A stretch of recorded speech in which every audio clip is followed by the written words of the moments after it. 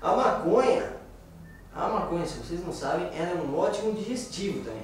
Né? Era usada na medicina contra enjoo, para pacientes que sofriam de câncer. Olha, olha gente, o próximo está passando. A gente precisa fazer isso.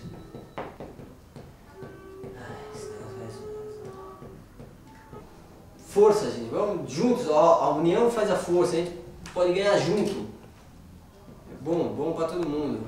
Principalmente para mim que estou precisando.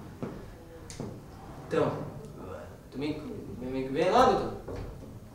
São amigos ajudando amigos. O que, que, que tem de mal nisso? O que tem de mal nisso? Não, nada. Seu amigo precisa de você, você ajuda, não é? Então, três dias, 12 mil reais.